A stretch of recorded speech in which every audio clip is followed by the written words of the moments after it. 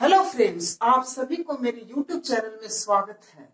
देखिएगा, आज हम एडिशन पोल्यूमर्स और कंडेंसेशन पोल्यूमर्स का अंतर बताने जा रहे हैं। डिफरेंस कि एडिशन पोल्यूमर्स को ही बोलते हैं एडिशन पोल्यूमेरिजेशन कहने के मतलब जो एडिशन पोल्यूमर्स कहने के मतलब जो प्रोडक्ट बनता है तो वो प्रोडक्ट जिस रिएक्शन से बनता है, यहाँ थोड़ा सा हम आपको बता दें कि मान लीजिए ये मोनोमर्स है, ये मोनोमर्स आपस में कंबाइन होके पोलियोमर्स बनाए। ये मोनोमर्स आपस में कंबाइन होके पोलियोमर्स बनाया। तो मान लीजिए ये सेम टाइप ऑफ़ मोनोमर्स है। ए ए ए ए। मतलब only one type of monomers only one type of monomers है मतलब होमोपोलियोमर्स है। कौन सा पोलियोमर्स होमोपोलियोमर्स ये बनेगा जो कौन सा होगा? होमोपोलियोमर्स और होमोपोलियोमर जो रहता है वो एडिशन पोलियोमेरिजेशन होता है।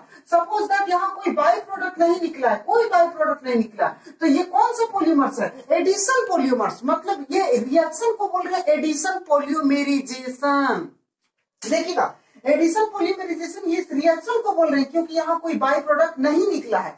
और जब पोलियोमर्स जो बन के तैयार हुआ है, जो पोलियोमर्स बन के तैयार हुआ उस पोलियोमर्स को बोले एडिशन पोलियोमर्स और उसमें कोई बाई प्रोडक्ट नहीं निकला। मतलब उस रिएक्शन को बोल रहे एडिशन पोलियोमेरिजेशन तो वही लिखे है कि एडिशन पोलियोमर से क्वेश्चन आए, या तो एडिशन पोलियोमेरिजेशन से क्वेश्चन आए। दोनों सेम है, दोनों का डिफिनेशन आप दोनों का डिफरेंस आपको एक ही लिखना है। तो वही लिखे एडिशन पोलियोमर्स हो या एडिशन पोलियोमेराइजेशन हो। कंडेंसेशन पोलियोमर्स हो या कंडेंसेशन पोलियोमेराइजेशन हो, दोनों का अंतर एक ही लिखना है। पहला हो गया it is also known as chain growth polymers देखिए, इसका दूसरा नाम है चेन ग्रोथ पोलियोमर्स क्यों?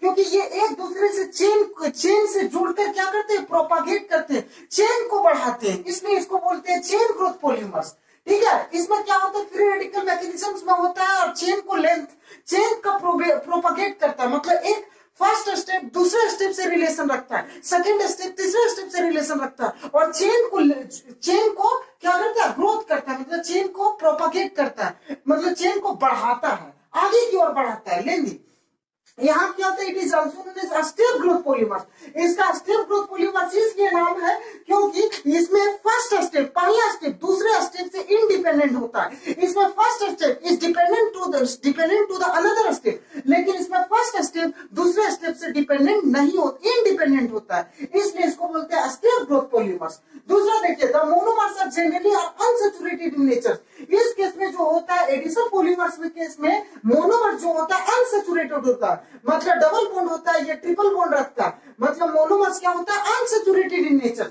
लेकिन इस केस में मोनोमर्स और कंटेन्स बाई फंक्शनल नेचर इस केस में क्या होता है मोनोमर्स फंक्शनल ग्रुप कंटेन करता है। कार्बोजेनिक एसिड कंटेन करता है।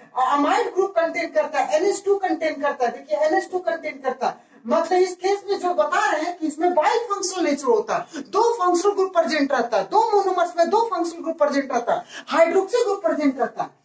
देखिए इसमें no by product is form during addition polymerization अब यहाँ जब मोनोमर्स आपस में कंबाइन हुआ, ये मोनोमर्स आपस में कंबाइन होकर पोलियोमर जो बनाया है तो यहाँ कोई बाई प्रोडक्ट नहीं निकलता। किस केस में? एडिशन पोलियोमर्स के केस में कोई बाई प्रोडक्ट नहीं निकलता है। लेकिन यहाँ बोले है कि जनरली यहाँ by product alcohol water ammonia और अल्काइल हलाइड मतलब सॉरी हाइड्रोजन क्लोराइड मतलब हाइड्रोजन हलाइड निकलता है H C L H B R इस तरह निकलता है। तो यहाँ कहने के मतलब वाटर मॉलिक्यूल्स बाहर निकलता है। बाई प्रोडक्ट के रूप में वाटर मॉलिक्यूल्स बाहर निकलता है। तो वैसे पोलिमर्स को बोलते हैं कंडेंसेशन पोलिमर्स यहाँ देखिएगा।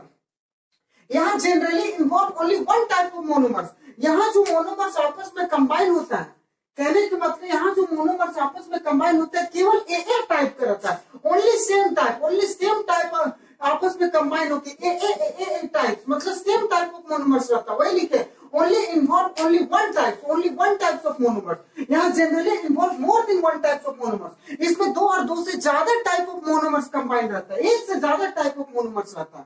वो बोल रहे हैं। इसमें क्या होता है? Molecular weight molecular weight of addition देखिए molecular weight of addition polymer size integral multiple यहाँ समझिएगा is integral multiple of molecular weight of monomer यहाँ बोला है कि मोनोमर्स जो होगा मोनोमर्स का जो यहाँ देखिएगा थोड़ा सा। ये मान लीजिए मोनोमर्स है। और मोनोमर्स मेरा बना है पोलियोमर्स क्या बना तो इसका जो मास होगा मोलिकुलर वेट होगा, ये इसका मल्टीपल होगा। मान लीजिए इसका मास एक्स है तो इस सॉरी इसका मास एक्स है तो इसका मास कितना होगा? टू एक्स होगा। मतलब मतलब इसका जो मास होगा, ये इसका मल्टीपल होगा।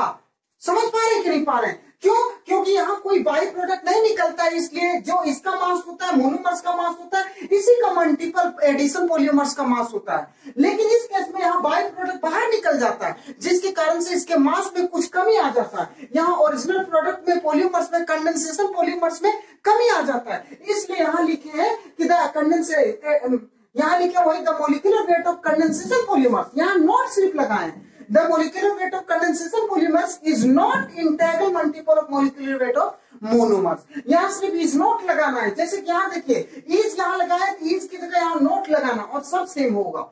यहाँ देखिएगा दूसरा में it take place by the free radical mechanism ये जिस मैकेनिज्म से पोली, एडिशन पॉलीमर जो बनता है ये मोनोमर्स आपस में कंबाइन करके एडिशन पॉलीमर जो बनाता है वो कौन सा मैकेनिज्म से बनाता है? फ्री रेडिकल मैकेनिज्म मतलब ये फ्री रेडिकल मैकेनिज्म बॉन्ड को तोड़ के बराबर बराबर भागों में इलेक्ट्रॉन को बांटना। लाइक दैट बॉन्ड को तोड़ के बराबर बराबर भागों में बांटना। इसी को फ्री रेडिकल मैकेनिज्म से बनता है यहाँ no such mechanism take place इस प्रकार से कोई मैकेनिज्म या फ्री रेडिकल मैकेनिज्म की आवश्यकता नहीं होता है। यहाँ देखिएगा it take place in addition polymerization addition polymerization से इनिशिएटर की आवश्यकता होता है। इनिशिएटर पर ऑक्साइड एडिशन पोलिमराइजेशन में इनिशिएटर H2O2 इस प्रकार से। Initiator R2O2 benzoyl peroxide tertiary butyl peroxide तो बेंजोइल परऑक्साइड एक इनिशिएटर है। तो इनिशिएटर की आवश्यकता पड़ता है। किस केस में? एडिशन पोलिमराइजेशन को आगे बढ़ाने के लिए यहाँ इनिशिएटर की आवश्यकता पड़ता है, जिसको आप रिएजेंट बोलते हैं। इनिशिएटर की आवश्यकता पड़ता है। यहाँ क्या होता है? इन कंडेंसेशन पोलिमराइजेशन में नो इनिशिएटर इज़ रिक्वायर्ड किसी भी प्रकार के इनिशिएटर की आवश्यकता नहीं पड़ता है। यहाँ देखिए आठवां all the homopolymers, along with the Buna S जितना भी homopolymers है, homopolymers, आप जान रहे only one type of monomers are combined. केवल एक टाइप ऑफ़ मोनोमर्स कंबाइन करता है, उसी को बोले होमोपोलीमर्स और होमोपोलीमर का जितना भी एग्जांपल है, along with और बुना एस को भी बुना एस रबर भी रहता है बुना एन भी रबर रहता है, सभी एडिशन पोलीमर्स का एग्जांपल है। यहाँ जितना भी कंडेंसेशन पोलीमर्स है, along with nylon six nylon six के साथ, सभी कंडेंसेशन पोलीमर्स के एग्जांपल्स है। सॉरी वेरी सॉरी यहाँ को पोलीमर्स होगा। All the copolymers all the copolymers very sorry यहाँ होगा all copolymers copolymers all copolymers all co all copolymers only all all copolymers along with nylon six जितना भी copolymers है copolymers आप समझ रहे हैं more than two type of monomers तो all copolymers और mixed polymers along with nylon 6 are the example of condensation polymers इसका एग्जांपल एक पॉइंट और लिख लीजिएगा इसका एग्जांपल हो गया पॉलिथीन्स हो गया पोलियोप्रोपाइलिन्स हो गया पोलियोविनाइल क्लोराइड हो गया पीएन पोलियो अक्राइलोनाइट्राइल हो गया पोलियो मिथाइल मिथा अक्राइलेट हो गया टेफ्लॉन हो गया इसका एग्जांपल हो गया बेकेलाइट हो गया मेलामाइंस हो गया नाइलॉन सिक्स हो गया नाइलॉन सिक्सटीन हो गया नाइलॉन सिक्स हो गया इटीसी